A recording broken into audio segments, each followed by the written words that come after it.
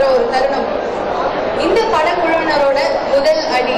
இந்த அடி வெற்றிகரமா அமையணும் அப்படிங்கிறது நம்ம கையில தான் இருக்கு உங்க கையில தான் இருக்கு. உங்களோட அத்தனை பேரோட சப்போர்ட்டும் வந்து இந்த படக்குழுவினருக்கு தேவை. இந்த படத்தோட இருவர் ஒன்றானால் படத்தோட இசை வெளியீட்டு விழா இப்போது நடைபெற இருக்கு. திரு சூர்யா அவர்கள்